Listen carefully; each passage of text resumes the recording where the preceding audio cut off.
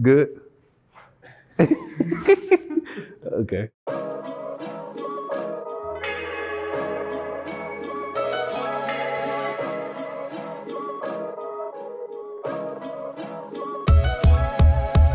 What's going on, world? Brand new episode of Royal Key there on your screen. I'm your host, George Kill, and I'm here in Flagstaff, Arizona with my man, Andrew Kelly of DLR Group. Andrew, how you doing? Doing all right, man. Good to see you. Yeah, good to see you as well. Now, I want to start somewhere first. This is an amazing facility that we're about to tour, but I want to start where it originally was supposed to be.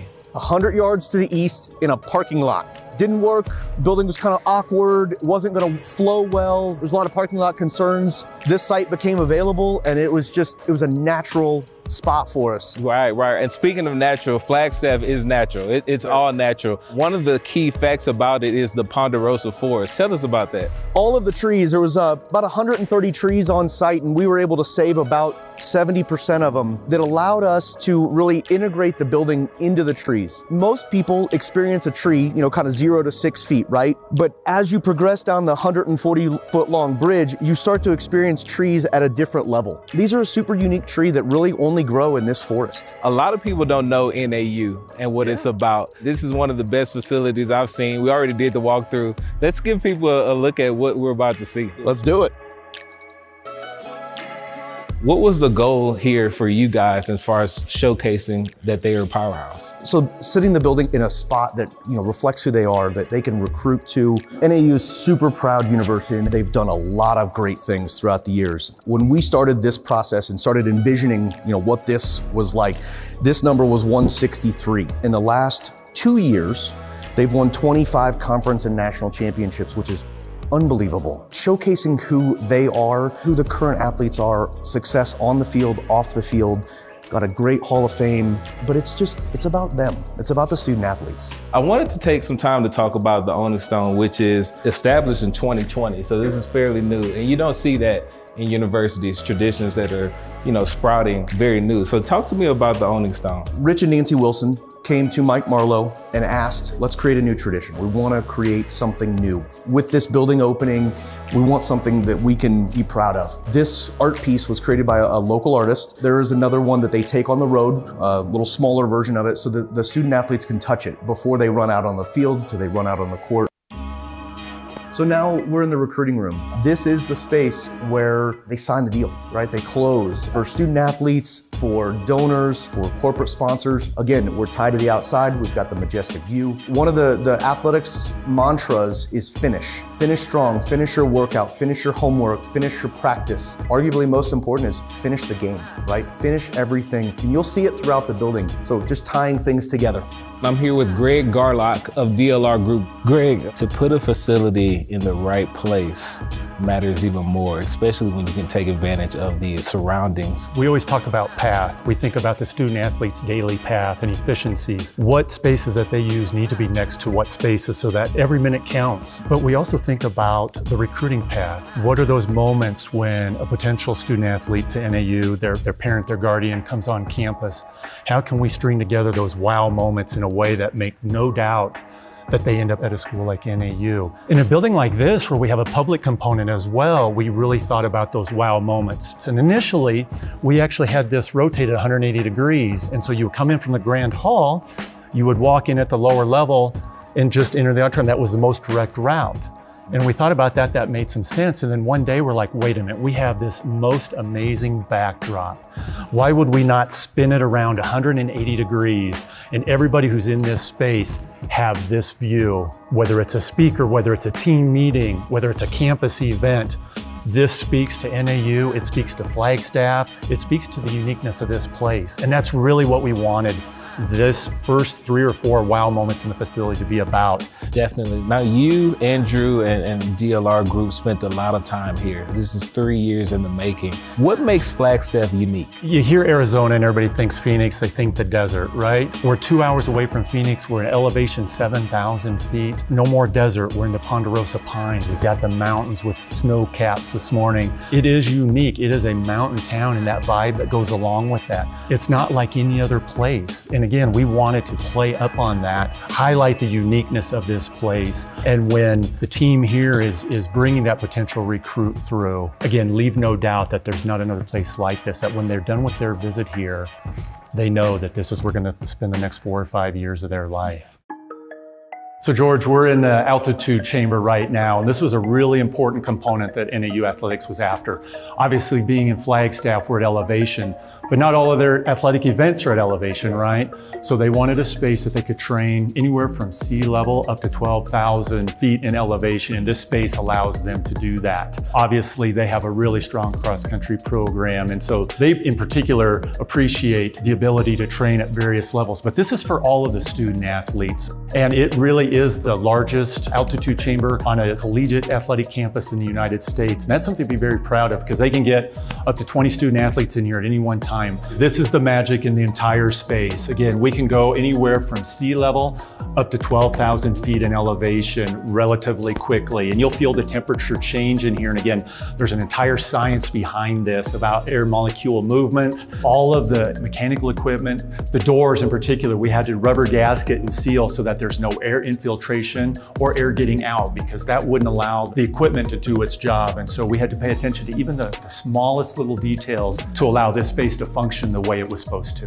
So now we're here with the director of sports nutrition, Joey. Joey, how you doing, man? Good. How you doing, George? Oh, I'm doing pretty well. This is an amazing weight room, by the way. I want to talk about the efficiency and the functionality of this space for all student athletes. And the functionality and efficiency is off the charts, right?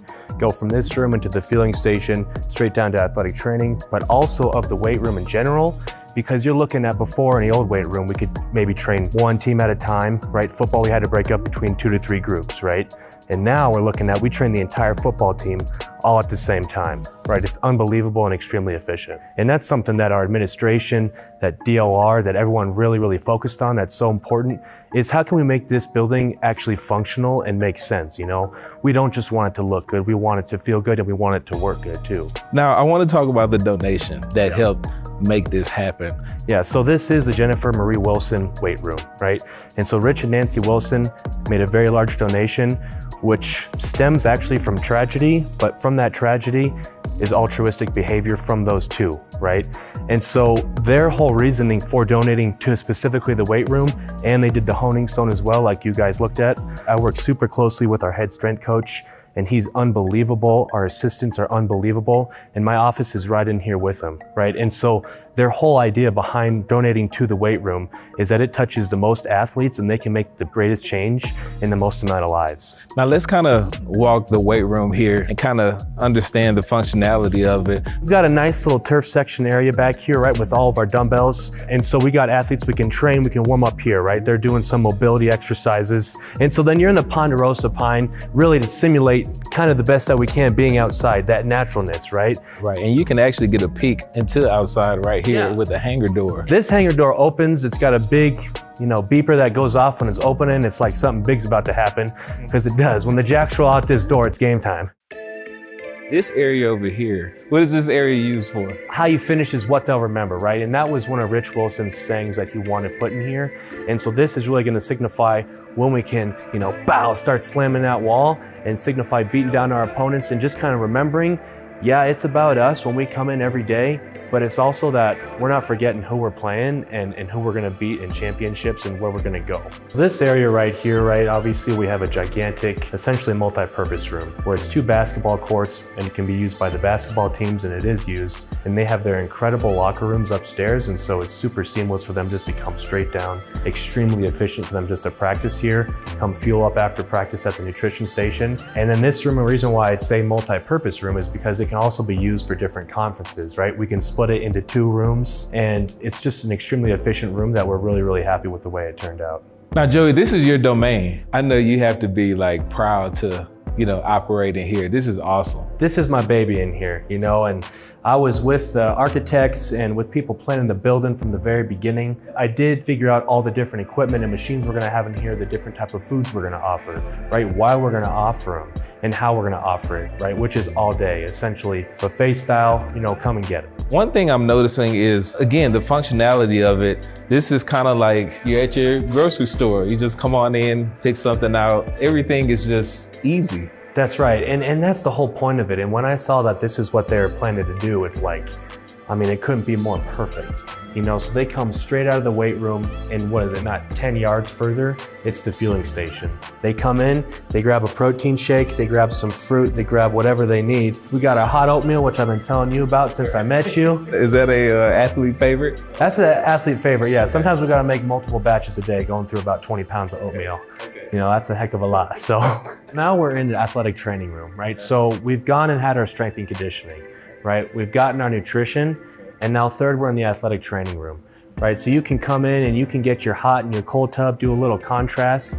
You can also come to our incredible underwater treadmill, right? And that's great hydrotherapy, so you can heal up and, and get back out there as soon as you need to. One of the biggest things I think is with the parking space, right? So you're gonna have athletes, unfortunately it happens, right? People get injured. But we've got a parking space right outside this facility and a little ramp to walk up where injured athletes can just come right in and start getting their rehab right. Definitely. And then you also have your office spaces in here that kind of border the entire training room. It is. And these office spaces are nice because, you know, an athlete comes in and they want to meet with their trainer and they see him right through the window, right? They can meet right with them.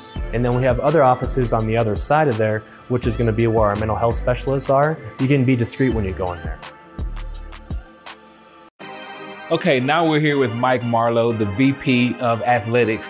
Mike, how are you doing? Good. Good to see you. George. Yeah, good to see you as well. We're in the Free Lumberjack Academic Center, and this means a lot to the athletic program, right? We've seen the facilities over there, but your functionality in this area is awesome. And it met our goal. I mean, we wanted to be able to look at this building and, and then look mom and dad, loved ones, the student athlete and I and say, you can come to NAU and maximize your athletic and academic potential. And it's so cool that this space, like a lot of the spaces, is dedicated from the donations of former athletes and alums. Right. Now I talked to DLR Group about the word trust in this whole process. What made you eventually trust DLR's ability to just execute what we have right here now? Well, I'll tell you, it probably happened early on, George. When they were doing some, some interviews with our student athletes and coaches, you could see that trust developing from our student athletes, coaches, and staff being open with them, and then DLR returning that. So that was a big ingredient in this whole project. That's awesome, awesome. Now, as we walk kind of in this uh, academic center, again, the word functionality screams out to me.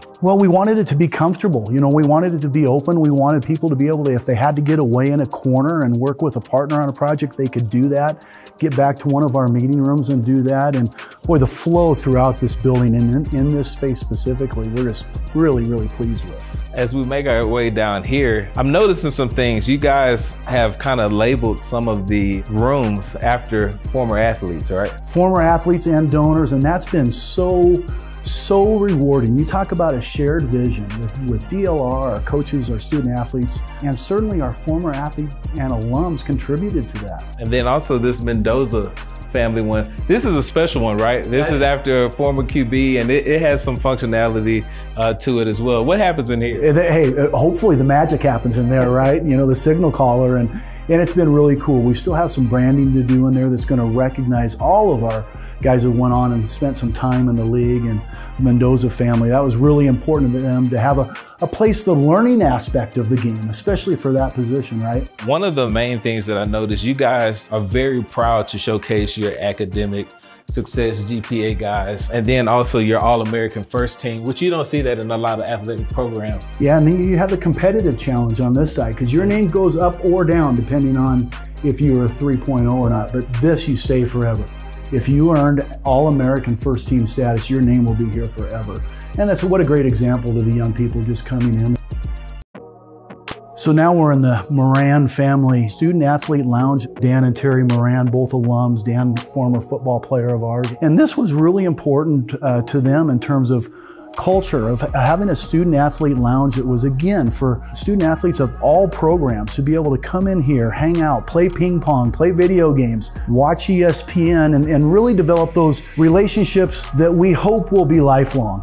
So one thing I talked to DLR and your cohorts here at uh, NAU is every room seems to have the transparency to look outside and just see the beauty of Flagstaff. We always knew we wanted a lot of light, but until the building started going up, I, I don't think any of us really had an idea of how magnificent it was going to be.